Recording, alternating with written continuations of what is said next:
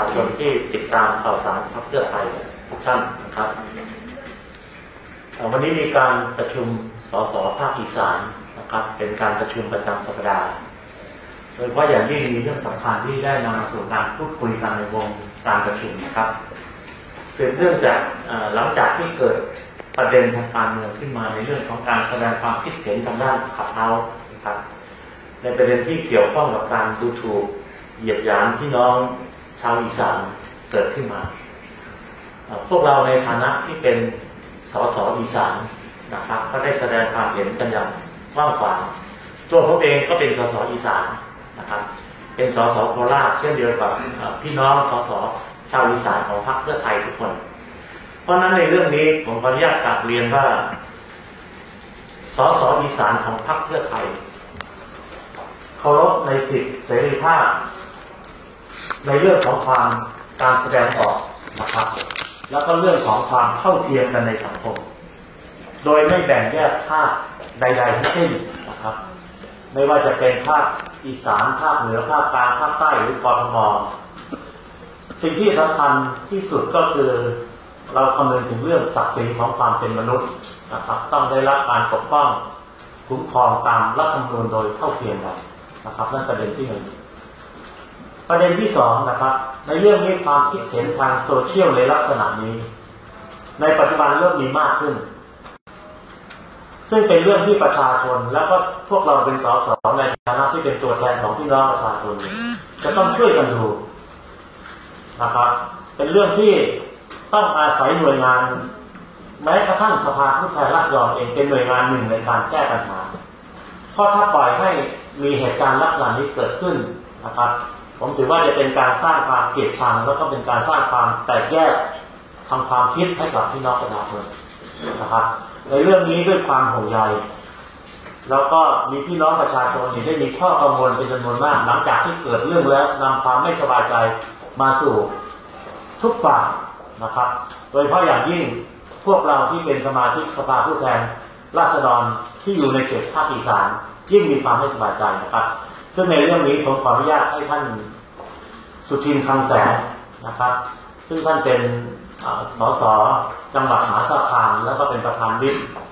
ได้กรุณานำเรียนเพิ่มเติมครับขอเชิญครับ ครับก็ท่านชุมชนครับเรื่องอย่างนี้เนี่ยเราก็เฝ้าสังเกตดูว่ามันก็เกิดมาอยู่เรื่อยๆโดยว่าในรัฐบาลชุดนี้เราก็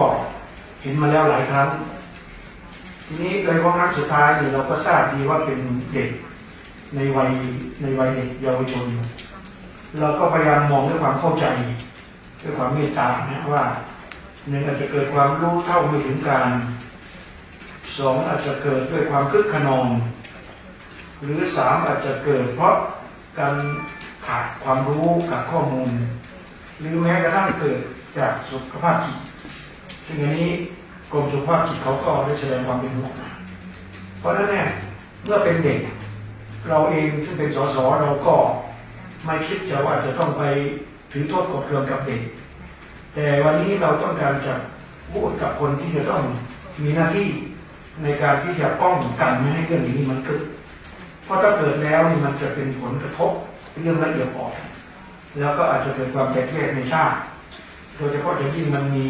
ประเด็นทางประวัติศาสตร์กันทุกภาคคราวนี้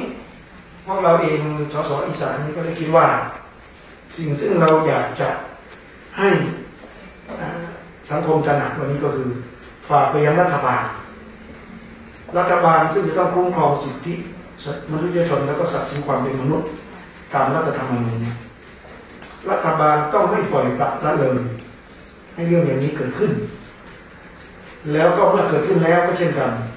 รัฐบาลก็จะต้องหาทางต้องตาม หรือทำความเข้าใจ เสียให้ถูกต้อง แต่ว่าเท่าที่ผ่านมาเราก็พบว่าหลายครั้งเกิดขึ้นนี้ขึ้นเนี่ยรัฐบาลก็ไม่ใส่ใจ แล้วก็มือเฉยแม้กระทั่งขณะนี้ที่เกิดขึ้น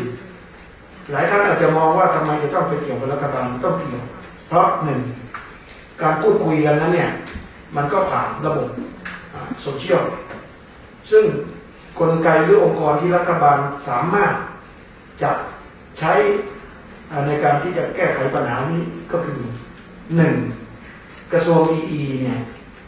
ก็สามารถสอดส่องดูแลแล้วก็ป้องปรามได้นะครับป้องปรามได้ถ้าหากว่าการใช้ข้อมูล ซึ่งกระทรวงอีก็พูดอยู่ตลอดว่าวันนี้เนี่ยติดตามตรวจสอบเฟกนิวตลอดจะไม่ทำอะไรอย่างอื่นก็เฝ้าเรื่องเฟกนิวแต่เป็นเน้นเฟกนิวที่เขาว่ารัฐบาลเท่านั้นหรือเปล่าแต่เฟกนิวหรือความเข้าใจผิดอย่างนี้ รัฐบาลต้องถือว่ากระทรวงดีต้องทำหน้าที่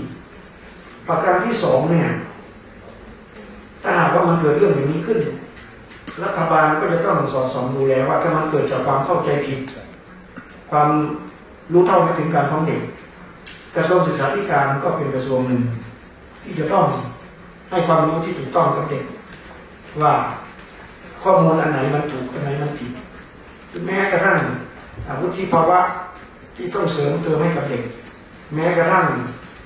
บุคลิกลักษณะนิสัย บุคลิกนิสัยก็จะต้องสอนให้เด็กเป็นคนที่ลดความหยาบคายลง สอนให้เด็กเป็นคนที่มีพฤติกรรมอันพึงประสงค์เป็นพฤติกรรมที่จะอยู่ร่วมกันในสังคมได้ดี อันนี้ก็เป็นหน้าที่ของกระทรวงศึกษาธิการที่ต้องทำแล้วก็วันนี้ต้องทำได้แล้วนะครับ แล้วสุดท้ายก็กระทรวงพัฒนาสังคมกระทรวงวัฒนธรรมก็ต้องผู้ปกครอง ก็ต้องเฝ้าสอดส่องดูแลนะฮะไม่ให้เรื่องอย่างนี้เกิดขึ้น ดังนั้นผมก็เลยคิดว่ารัฐบาลเองเนี่ยจะคิดว่าไม่ไม่ใช่หน้าที่ไม่ได้ เรื่องนี้รัฐบาลต้องถือว่าเป็นหน้าที่ เพราะถ้าหากเกิดขึ้นอีก ซึ่งมีโอกาสเกิดขึ้นอีกในอนาคตถ้าหากเราไม่ได้ทำอะไรเสียวันนี้เนี่ย เมื่อเกิดขึ้นอีกหลายๆครั้งต่อไปข้างหน้าการปะทะกันทางความคิด อาจจะนำมาสู่การปะทะกันขึ้นในอีก ในนิดหนึ่งซึ่งในเด็กในผู้ใหญ่มันก็เกิดขึ้นได้ แล้วสังคมเราไปยิ่งยิ่งปราะบางอยู่ ราะนั้นเองเราจึงจะเฝ้าดูรัฐบาลว่ารัฐบาลจะมีท่าทีอย่างไรกับเรื่องนี้ แล้วจะทำยังไงไม่ให้มันเกิดขึ้นอีก แต่ถ้ารัฐบาลเพิกเฉยเนี่ย เราก็ต้องถือว่ารัฐบาลเนี่ยกำลังจะส่งเสริมให้เกิดความแตกแยกในชาติ ซึ่งรัฐบาลต้องมีความผิดอย่างรุนแรงเราก็จะยอมไม่ได้ครับ ครับขอขอประเด็นเพิ่มเติมจากท่านดีสอนเจเกตครับ ก็ในฐานะที่พรรคเพื่อไทยมีสสอีสานถึง 84 คน ก็มีความรู้สึก ที่ขับเฮ้าดังกล่าวได้จัด สิ่งที่กล่าวหา คนอีสานทั้งหลายทั้งปวงในขับเฮ้าเป็นการกล่าวหาที่เป็นเท็จ ไม่มีวุฒิภาวะและไม่เข้าใจสภาพของคนอีสานอย่างสิ้นเชิงแต่ สสพรรคเพื่อไทยก็มีความเมตตา พร้อมที่จะเปิดโอกาส และสร้างองค์ความรู้ให้เข้าใจภาคอีสาน ให้เข้าใจทุกภาคทุกคนในประเทศไทย ว่ามีความเป็นศักดิ์ศรีความเป็นมนุษย์ทัดเทียมกัน อย่าได้มีทัศนคติที่จะเหยียดใครที่จะขึ้นมาเลย ปฏิกิริยาจากขับเฮาคำนี้ดูได้จากโซเชียล ไม่ว่าจะเป็นทวิตเตอร์แฮชแท็กคนอีสานก็ดี หรือที่อื่นๆออกมาแสดงปฏิกิริยากันอย่างสูงมาก อาจจะเกิดเป็นร้อยเปอร์เซ็นผมจะอยากให้ทุกคนรักกัน เพราะเป้าหมายประเทศชาติไม่ใช่แบ่งแยกและปกครอง เป้าหมายประเทศชาติคือการได้มาซึ่งประชาธิปไตย ซึ่งเป็นหลักใหญ่สุดของการปกครองของประเทศ ทุกคนทุกฝ่ายทุกภาคจะต้อง จับมือกันเพื่อผลักดันประเทศไปสู่ความเป็นประชาธิปไตย ไม่ใช่มาแบ่งแยกเหยียดยามและปกครองกันอย่างนี้ สสอีสานจึงมีความเป็นห่วง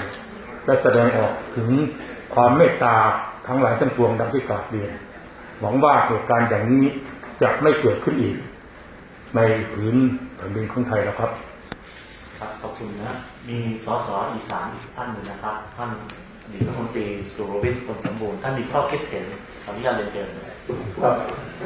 พี่น้องสื่อมวลชนที่กำลังทำในหมดแล้วครบแล้วเหตุการณ์ที่เกิดขึ้นครั้งนี้ ในฐานะที่พรรคเพื่อไทย มีสสอีสานมากที่สุด เกือบทั้งหมดของสสอีสานอยู่ในพรรคเพื่อไทย และพรรคเพื่อไทยอยู่ในหัวใจของคนอีสานพรรคเพื่อไทยจะ ใช้วิกฤตหรือเหตุการณ์ครั้งนี้ในการสร้างความรู้ความเข้าใจความภาคภูมิใจในภาคอีสานของเรา ไม่ว่าจะเป็นเรื่องของบุคคลที่สร้างคุณงามความดีให้กับประเทศชาติให้กับบ้านกับเมือง ซึ่งเป็นคนอีสานไม่ว่าจะเป็นในเรื่องของการกีฬา ซึ่งท่านประธานวิปก็ได้นำเสนอไปแล้วนะครับหลายท่าน เรื่องของพระพุทธศาสนา ก็ต้องยอมรับว่าพระที่ปฏิบัติดีปฏิบัติชอบ และก็มีผู้ที่ให้ความเคารพนับถือไปจากภาคอีสานเป็นส่วนใหญ่พรรคเพื่อไทยจะใช้เวลาโอกาสนี้สร้างความภาคภูมิใจจะพยายามทำทุกสิ่งทุกอย่างเพื่อให้พี่น้องชาวอีสานของเราภาคภูมิใจและจะได้อยู่ดีกินดี จะได้ เรียกว่าเจริญรุ่งเรืองรุ่งโรจน์ให้ไม่ให้ใครที่จะมาคิดเรื่องนี้กับชาวอีสานของเราอีกต่อไป ด้วยฝีมือของพรรคเพื่อไทยเรามั่นใจครับว่า เราจะช่วยพี่น้องชาวอีสานของเราได้ ในทุกทุกด้านครับขอบคุณครับครับพรรคเพื่อไทยก็เคารพในความคิดเห็นที่แตกต่างนะครับแต่อย่างไรก็ตามเราอยากเห็นสังคมอยู่ด้วยความสุขนะครับ ก็ก็ขออนุญาตได้นำเรียนว่า ด้วยความปรารถนาดีจากสสอีสานด้วยความห่วงใยทุกฝ่ายนะครับ อยากเห็นความสมัครสมานสามัคคีและความรักเกิดขึ้นในชาติของเรานะครับพี่น้องมีสื่อมีคำถามเลยนะครับนอกนอกจากเรียกร้องให้รัฐบาลติดตามอย่างใกล้ชิดแล้วนะในฐานะพรรคเพื่อไทยที่มีสสภาคอีสานจำนวนเยอะเนี่ยในฐานะของพรรคเพื่อไทยเองเนี่ยเราจะสามารถดูแลในเรื่องนี้อย่างอย่างไรได้บ้างเช่น อาจจะไป เรียกพูดคุยในคณะกรรมาธิการที่เกี่ยวข้องอะไรแบบนี้ไหมครับนิดหนึ่งนะการที่เราขอให้รัฐบาลได้สอดส่องดูแลและป้องกันเราต้องมีเส้นแบ่งนะ เราไม่ได้ขอให้รัฐบาลไปคุกคามเด็กนะคุณต้องระวังแต่ว่าเราอยากจะให้ใช้วิธีการที่มันเหมาะสมกับกับเด็ก แล้วกับบุคคลที่ออกมากล่าวถ้าใครเด็กเป็นเด็กเราก็ต้องให้รัฐบาลได้อ่าให้ความรู้เขา หรือกรมสุขภาพจิต ก็ต้องเข้าไปแก้ปัญหาเขาแต่ถ้าหากว่าเป็นผู้ใหญ่ ในวัยผู้ใหญ่ซึ่งมีเจตนาหรือใครอยู่เบื้องหลัง หรือหวังผลอะไรกับเรื่องพวกนี้สร้างสถานการณ์ขึ้นเนี่ยรัฐบาลก็ต้องจัดการตามลำดับขั้นไปทีนี้ส่วนสสอีสานเราเนี่ยเราวิธีการของเราเราก็เน้นที่ใช้ทำความเข้าใจ ให้ข้อมูลที่ถูกต้องเนี่ยเช่นคุณหมอสุรวิทย์บอก สิ่งใดที่เขาเข้าใจผิด เรื่องคนอีสานหน้าตาไม่ดีแล้วก็พยายามเสนอข้อมูลให้เขาเห็นว่ามันก็มีคนน่าจะดีอย่างเช่นประธานยิปอีกนะแล้วก็เรื่องความรู้ความสามารถด้านต่างๆ เราก็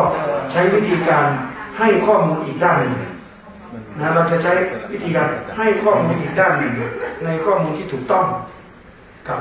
คนในชาติกับคนที่พยายามขับหา เราคงหลีกเลี่ยงที่ใช้ความรุนแรงแล้วรัฐบาลก็จะถือโอกาสนี้นะอย่าช่วยโอกาสนี้ไปคุกคาม หรือไปปิดกั้นสื่อเขานะต้องมีเส้นแบ่งที่พอดีนะครับ เสรีภาพในทางโซเชียลก็ต้องมีของเขาแต่ว่าอันไหนที่มันเหมาะกับคนอันไหนที่มันเป็นเส้นแบ่งที่งามรัฐบาลให้เลือกใช้ที่นาดีกลไกเรื่องหนึ่งที่เราทำได้คือกลไกกระบวนการทางรัฐสภาทางกรรมาธิการนะครับซึ่งเรื่องนี้เราก็คิดว่าเป็นอีกช่องทางหนึ่งนะครับ ในการแก้ไขปัญหาไม่ให้เรื่องต่างๆเกิดขึ้นต่อไป